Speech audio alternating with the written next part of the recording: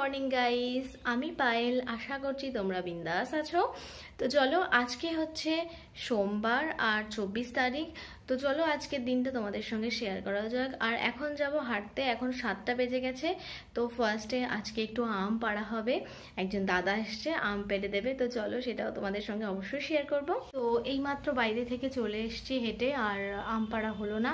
দুটো আম পেয়েছিলাম, দাদাকে একটা দিয়ে দিয়েছি, আমি একটা নিয়েছি। তো অনেক বড় গাছ সেই জন্য ওঠা যায়নি। তো দেখা যাক পরে যদি পারা যায়, তো অবশ্যই শেয়ার করব। তো এখন বানাবো ব্রেকফাস্ট আর আজকে সকালেই স্নান করব আজকেও ভীষণ গরম। শুনছি এখানে আজকে থেকে নাকি ঝড় হবে, কালকে হয়নি। তো এখন সকাল থেকেই বেশ মেঘ আছে। তো চলো আগে ব্রেকফাস্ট করে নিই, খেয়ে নিই, তারপরে দেখা যাক কি হয় না যাচ্ছি সবজি আর মাছ আনতে। তো এই যে আমার বাজারের ব্যাগ তো এই সামনেটাই যাব। আজকে অনির্বাণের অনকল তো সেই কারণে আমিই যাচ্ছি। তো চলো ওখানে মাছও আছে, মাছও কিনবো আর সবজির বাজারটা করব। আর কিছু মুদি, মুদিখানার বাজারও করতে হবে। তার কারণ এখন তো সাতটা থেকে দশটা, তার বেশি টাইম তো খুলে রাখছে না। তো সেই কারণে একটু সকাল সকাল যেতেই হয়। আর এই টাইমটা যাওয়াটাও খুব মানে প্রবলেম হয়। সব সময় বেরোনোও যায় না। তো ও বেরোলে, অনির্বাণ বেরোলে সুবিধা হয়। যদিও আজকে ওর অনকল চলছে, ওই জন্য ও যেতে পারবে না। তো ওকে রুমে রেখে এলাম। ওকে বললাম যে একটু টাইম থাকো আমি যাচ্ছি বাজার করে নিয়ে ফিরে চলে আসব। তো চলো বাজারটা করে নিই তাড়াতাড়ি করে।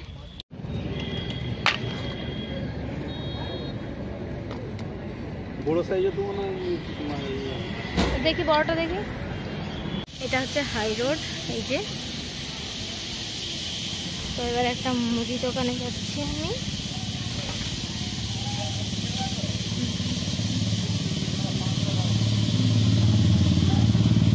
প্রচণ্ড রোদ্দুর বাইরে তো চলো বাজারটা করে নিই চট করে। আমার বাজার করা হয়ে গেছে, এখন ফিরে যাচ্ছি। খুব তাড়াতাড়ি করে বাজারটা সেরে ফেলেছি। আর এখানে প্রচণ্ড ভিড় হয় মানে প্রচুর লোকজন তো। তো এখন তো করোনার সময় আমি মাস্কটা আনতে ভুলে গেছিলাম। খুবই প্রবলেম হয়েছে। তো এই ওড়নাটা দিয়ে ঢেকেছিলাম যদিও। তো চলো বাজার হয়ে গেছে। এবার রুমে গিয়ে মাছ নিয়েছি। তো মাছটা আবার পরিষ্কার করতে হবে, কী কী রান্না হয় দেখি। তো চলো রুমে আগে যাই ফার্স্ট চলে এসেছি ঘরে, আর আমি মাস্ক নিয়ে যাইনি বলে বকা খেলাম এইমাত্র। তো এখন স্যানিটাইজ করে নিয়েছি। আর এখন একটু গার্গেল করব, যেহেতু মাস্ক নিয়ে যাইনি, সেহেতু জানি না। যদিও দূরে ছিলাম সবার থেকেই অনেকটাই।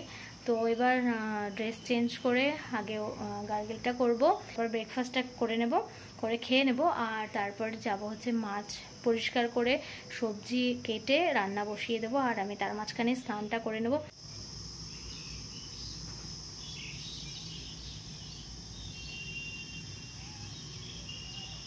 আমি ব্রেকফাস্ট নিয়ে চলে এসেছি আর এখন বাজে নটা পঁচিশ, তো দেখতেই পাচ্ছ, তো আমার ব্রেকফাস্ট এখানেই আছে। তো আজকে খাব হচ্ছে ছানা, সেদ্ধ ডিম আর চিয়াসিড আর ফ্লেক্সিড ভেজানো। তো আজকে জানি না আবার কি শরীর খারাপ হয় কি না হয়। তো চলো আগে ঝট করে ব্রেকফাস্ট করে নিই। অনেক বেলা হয়ে গেছে, আমি ভেবেছিলাম যে অনির্বাণ চলে আসবে খেতে, কিন্তু ও খেতেও এসেছিল, কিন্তু আবারও কি একটা কাজ পড়ে গেছে, চলে গেছে। তো চলো আমি আগে খেয়ে নিই, আর ওর জন্য আমি রেখে দেবো। তো এখানে আমি প্রথমেই খেয়ে নেব ফ্লেক্সিড আর চিয়াসিড ভেজানো। তো এটা খেয়ে তারপরে ছানা, ডিম এগুলো খাব।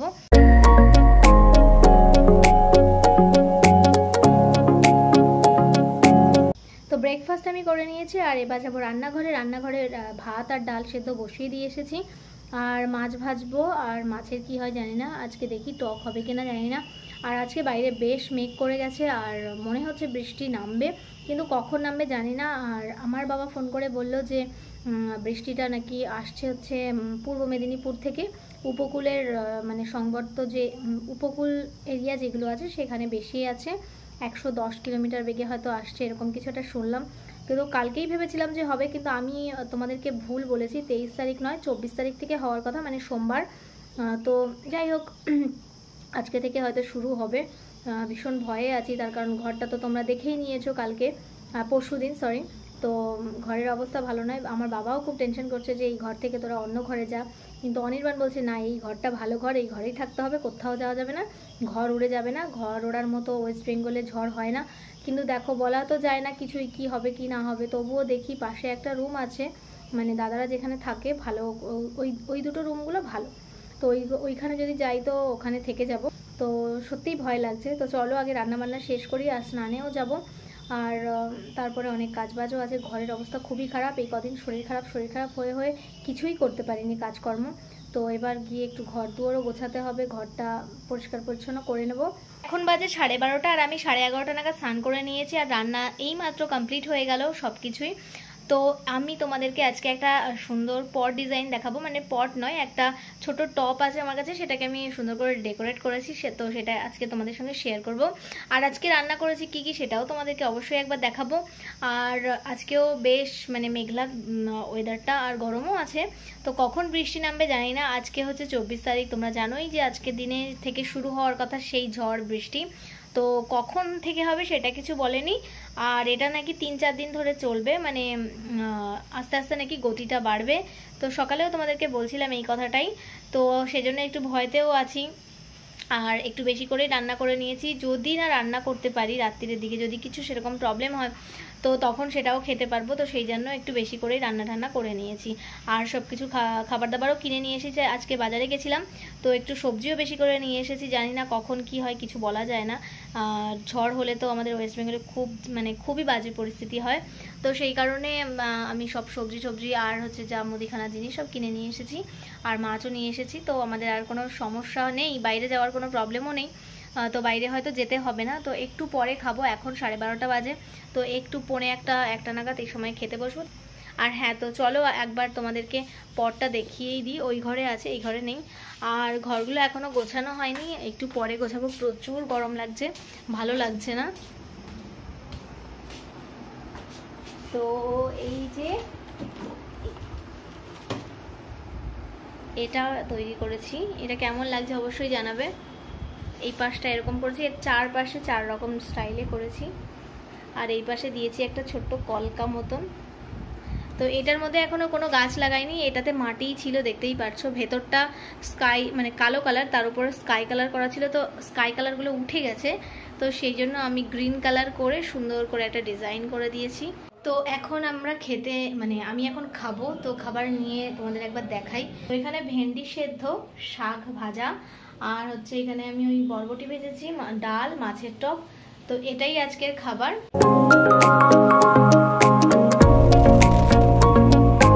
তো বাইরে আমরা চলে এসেছি, আর এখন এই যে গাছ দেখতে পাচ্ছ এই গাছের থেকে আম পড়েছে, আর আমরা এখন আম পারব তো দুটো আম পেয়েছি।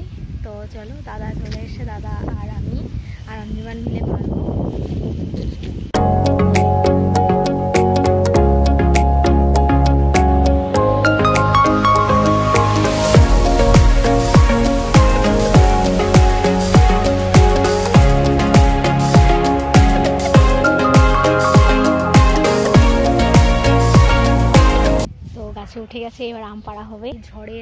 মানে প্রকোপ শুরু হয়ে গেছে আর বাইরেটা পুরো অন্ধকার হয়ে গেছে। এখনও তেমন যে বেলা হয়ে গেছে তেমন নয়, একটা চল্লিশ বাজে মাত্র। তো দেখতেই পাচ্ছ মনে হচ্ছে না ছটা, সাতটা বাজে আর এদিকে দাদা আম পাড়ছে। তো এটা মানে খুব ইন্টারেস্টিং আমরা সকাল থেকে ট্রাই করছি আর এই গাছের আমটা অসাধারণ খেতে। মানে গাছের আম যে এত সুন্দর হয়, এটা বোধ হয় ল্যাংড়াই গাছের আম। তো ল্যাংড়াই আম খেতে তো খুবই টেস্টি হয়। আর ওয়েদারটা মানে বেশ ঠান্ডা ঠান্ডা হয়ে গেছে কিন্তু ভীষণ মেঘ করেছে আর আওয়াজ হয়তো তোমরা পাচ্ছই। তো চলো আমগুলো পেরে নিই তো আমাদের আম পাড়া হয়ে গেছে, তোমাদেরকে দেখাবো এখনও দেখানো হয়নি। আর এখন পুরো রাইট চারটেই বাজে।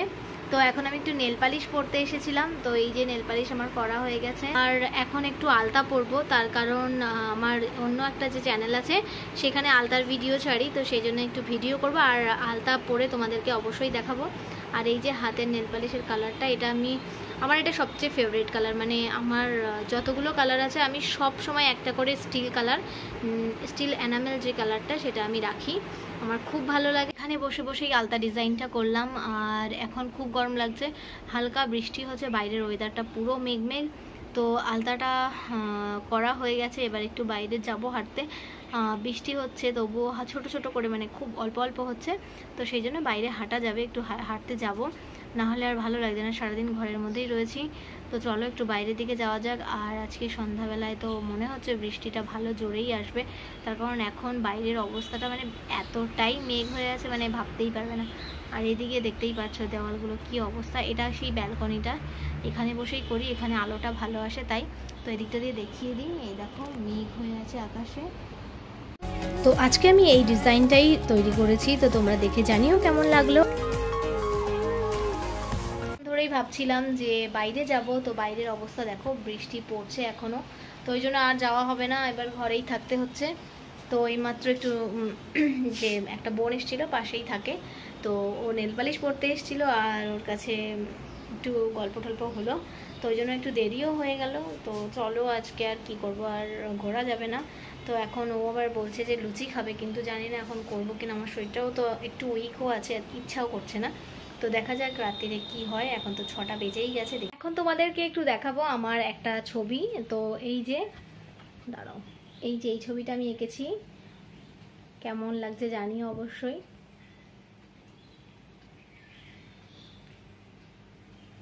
আর ওর একটা ছবি দেখাই। এই যে এটা হচ্ছে শেয়াল। ঢোল ঢোল, এটার নাম হচ্ছে ঢোল। তো এটা হচ্ছে অনির্বাণের আঁকা, তোমরা দেখে বুঝতেই পারছ হয়তো। আর আগেরটা আমার আঁকা ছিল। তো তোমাদের কেমন লাগল অবশ্যই জানিও ছবিগুলো। আর আমি এই রকমই টাইপের ছবি আঁকি, আমারটা হচ্ছে ওয়াটার কালার দিয়ে হয়। ওটাও ওয়াটার কালার কিন্তু ওটা হচ্ছে পেন্সিল দিয়ে মানে পেন্সিল ওয়াটার কালার যেগুলো পাওয়া যায় ওইগুলো। আর ঝড় এরকম কিছু একটা নাম আছে। আর হচ্ছে পঁচিশ, ছাব্বিশ, সাতাশ এই তিন দিন ধরে নাকি ঝড়টা হবে। যদিও আমাদের এখানে আজকে থেকেই একটু মেঘ, বৃষ্টি, হাওয়া শুরু হয়ে গেছে। তো আজকে তো চব্বিশ তারিখ চলছে। তো চলো দেখা যাক কালকে কি হয়। কালকের জন্য তো খুব ভয়তেই আছি। কালকে নাকি আরও মানে ভয়ঙ্কর পরিস্থিতি হবে। এখন একটু যাব, চা করে নেব। তার কারণ আজকে একটু ওয়েদারটা যেহেতু ঠান্ডা ওয়েদার আছে, তো আজকের দিনে চা খাওয়াই যায়।